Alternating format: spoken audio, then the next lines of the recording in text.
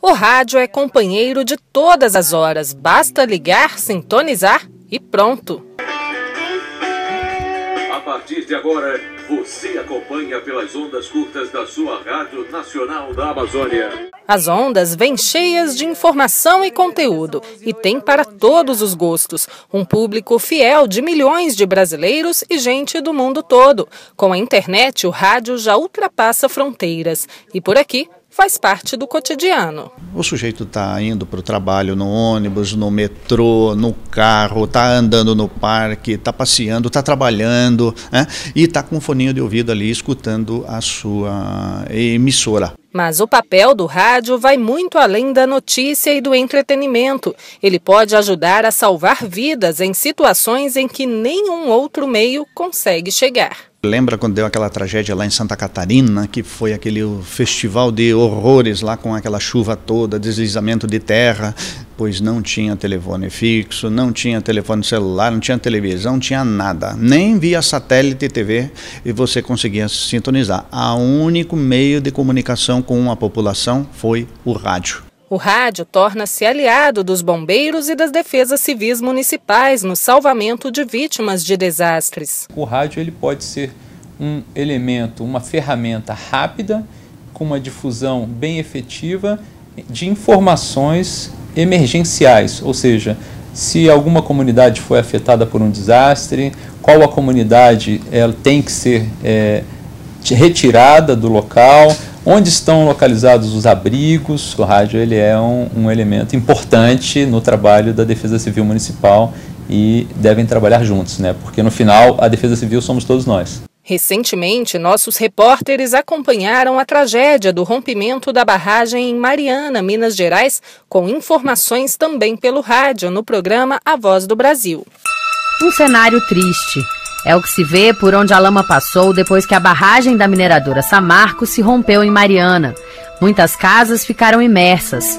Esse foi justamente o tema escolhido pela Unesco para celebrar o Dia Mundial do Rádio desse ano. A data marca a primeira transmissão da Rádio ONU em 13 de fevereiro de 1946. Para as Nações Unidas, esse veículo de comunicação passa pelas gerações deixando a marca de um grande prestador de serviços humanitários. A importância desse tema é justamente porque queremos enfatizar o aspecto de que a rádio salva vidas. Porque exatamente em momentos de catástrofe, em momentos de, de situação de emergência dos países, o rádio ele tem sido o principal aliado para várias questões humanitárias. E quem não se lembra do terremoto devastador do Haiti em 2010? O rádio estava lá cumprindo esse dever. E nós ficamos lá por volta de três dias. Tinha uma dificuldade natural de comunicação e eu lembro que consegui mandar as, os áudios uh, ah, para a Voz do Brasil reportando o que estava acontecendo lá foi uh, foi super foi mais rápido do que mandar o material para televisão e foi bem mais fácil. No Haiti, famílias foram encontradas, pessoas foram salvas justamente por conta do rádio. No Brasil, a história do rádio começou a ser escrita em 1922. No começo do século XX, existia no país uma necessidade de afirmação de uma identidade própria, e isso erupcionou na época da comemoração do primeiro centenário, em 22, e quando de uma realização de uma feira internacional, houve uma transmissão experimental de rádio com o discurso do então presidente Epitácio Pessoa, e isso animou um grupo de intelectuais, especialmente, de pessoas envolvidas com o interesse de compartilhar informações um dos maiores entusiastas do rádio foi o antropólogo Roquete Pinto, que junto com colegas da Academia Brasileira de Ciências colocou no ar a primeira emissora do país, a Rádio Sociedade, no Rio de Janeiro, em 1923. A rádio sobrevivia com doações e já recebia as famosas cartas dos ouvintes. Anos mais tarde, em 1936, Roquete Pinto decidiu doar a emissora para o Ministério da Educação. Surgia então a Rádio MEC. A história da, da rádio no Brasil e também depois da televisão deve muito a essa iniciativa de cientistas, de pessoas interessadas em fazer do meio de comunicação um instrumento de promoção da educação, da cidadania, do conhecimento. E como não falar da Rádio Nacional, presente em vários capítulos dessa história. A gente tem a era de ouro do rádio, né? Começa nos anos 40 e a Rádio Nacional ela é, é o grande protagonista desse cenário, né? Então surgem os novos, os grandes artistas, né? Você leva a música para dentro da casa do ouvinte e você traz o ouvinte para dentro da emissora, né? Eram ah, os, os, os programas de auditório, as pessoas, os ouvintes são todos todos é, é, para o auditório ou para para o, o espaço que estivesse se montando aquele programa, para ter contato mais próximo com seus artistas, para aplaudir, né? ouvir boa música. É uma forma de entretenimento com arte e informação. É assim, não, eu vou repetir, não dá para falar da história do Brasil e você não recortar a Rádio Nacional. E no livro dos recordes, A Voz do Brasil é o programa de rádio mais antigo do país, com 81 anos no ar. Em Brasília, 19 horas.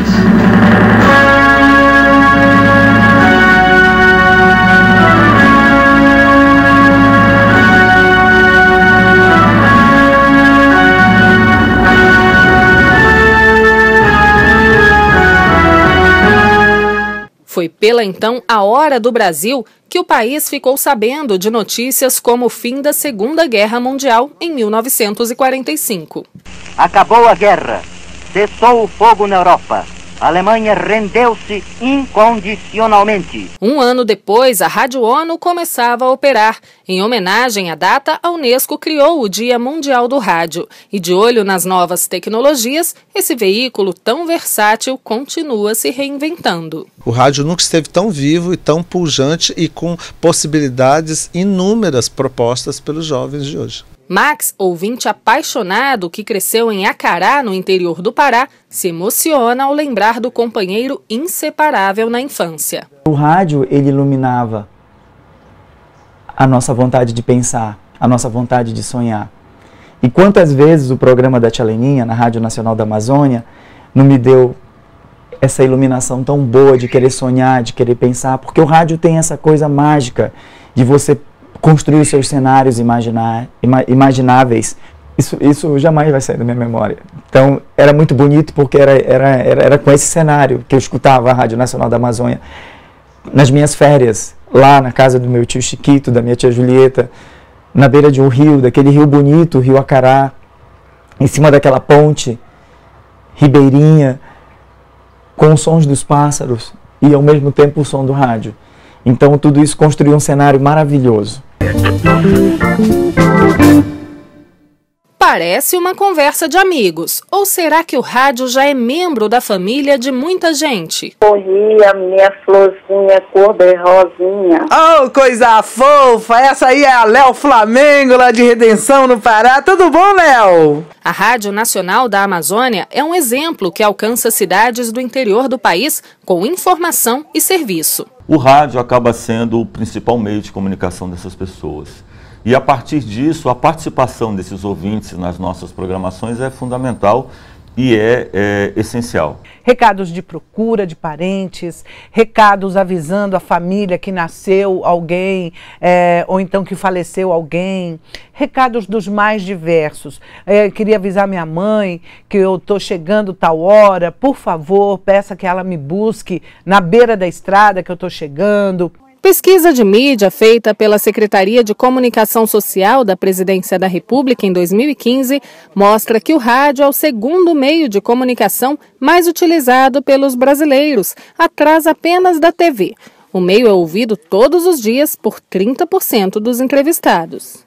E conhecida dos brasileiros de norte a sul do país, a Voz do Brasil também coloca diariamente nas ondas do rádio informações sobre as políticas públicas e serviços para o cidadão. A Voz do Brasil entra em cadeia nacional às 7 da noite. Mais de 60 milhões de brasileiros estão ouvindo a Voz do Brasil. O feedback é enorme. A gente recebe e-mail, carta, telefonema de ouvintes querendo saber mais informações sobre alguma notícia, alguma matéria que a gente deu, é, parabenizando pelo nosso serviço, porque o nosso serviço é esse, é prestar serviços e é dar transparência a todas as atividades do governo federal. São mais de 10 mil emissoras concedidas no Brasil. Difícil ter alguém que não sintonize. Hoje, basicamente, nós temos os rádios que transmitem em ondas de frequência modulada e ondas é, de amplitude modulada. Esses rádios, em geral, com ondas de amplitude modulada, eles têm um caráter mais, é, a, na sua maioria, de caráter local ainda, mas uma grande parte também em caráter regional e também de caráter nacional. Isso leva, então, o rádio a atingir praticamente todo o território nacional. Cada um com seu assunto favorito. O rádio é mais ou menos isso, né? É aquele monte de conversa, é você dando palpite, é, falando, por exemplo, você pega qualquer um aqui, o cara escala o time de futebol, ele, ele, é, o, ele é o técnico, ele mete o nariz na política. O brasileiro é um palpiteiro, assim, por natureza, né? Falador, conversador, gosta de escutar coisa, fofoca, intriga intriga, notícia, né? Ele, ele é um sujeito muito ligado do que acontece na sociedade, né?